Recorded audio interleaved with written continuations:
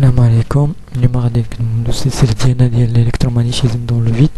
دونك في هذا الفيديو هذا نتكلمو على كيفاش اننا نكالكوليو لو كوفيسيون d'ainduction mutuelle ديال واحد البوبين سيتوي على l'extérieur ديال البوبين اللي كيدوز فيها الكورون اي ان فوالا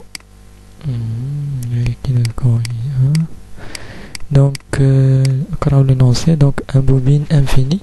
de longueur L donc le bobine infini de longueur L le bobine les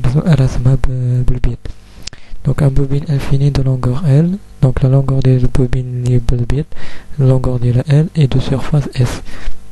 Dire la surface S la surface euh, donc de longueur L et de surface S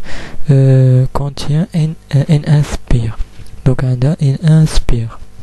un autre bobine euh, N2 donc le bobine اللي رسمها ب بالخضر donc عندها N2 spire N2 spire euh, euh, placé à l'extérieur de la première donc placé à l'extérieur de la première وما كيدوز فيها البوبين N2 حتى شي كورون دونك عندنا الكورون اي 1 اي الترناتيف دونك كيف شفنا في الفيديو اللي فات فاش يكون عندنا واحد الكورون الترناتيف كيدوز فواحد فواحد البوبين donc le courant alternatif qui crée le champ magnétique B1 donc le champ magnétique B1 qui est variable donc le champ magnétique variable donc réacteur أول حاجة على البوبين N1 بحيث أنها غتكون عندنا le phénomène d'induction d'auto d'induction وغيأثر على البوبين N2 بحيث أنها تكون عندنا الفينومين d'induction mutuelle donc le but de cette vidéo est de calculer le coefficient d'induction mutuelle de la bobine les située à l'extérieur euh, les située à l'extérieur de la bobine les située faire le courant I1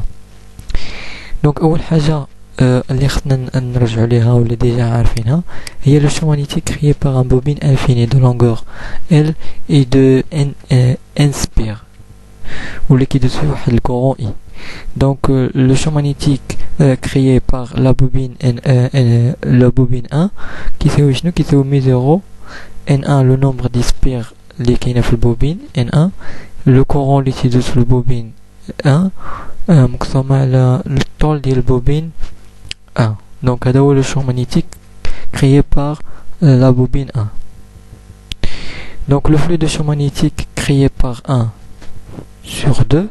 est créé par la bobine 1 sur la bobine 2 qui oui le champ magnétique P1 fois la surface de la bobine 2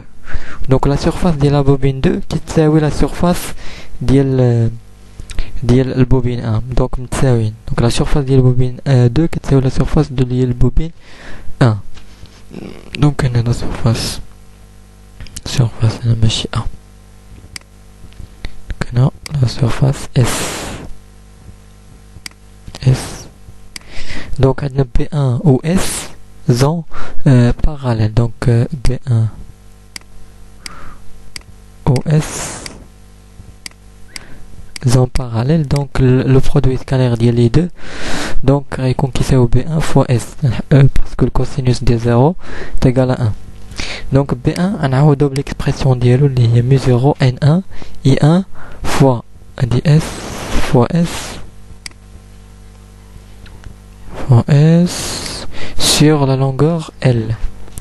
Donc, au كيف شفنا في الفيديو اللي فات ان le champ magnétique le flux de donc le cas ديال l'induction mutuelle tu que le flux de champ magnétique créé par 1 sur 2 qui c'est oui le coefficient euh, d'induction mutuelle fois le courant I1 ديال bobine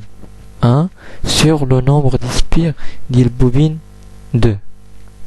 donc من هاد les deux expressions donc عندنا m m I1 sur N2 كتساوي ميزورو N1 I1 S sur L دونك كيفاش كندير هادو متساويين كنختزل I1 مع I1 دونك M كتساوي دونك كنطلع N2 فوق وكتعطيني أن M est égal à ميزورو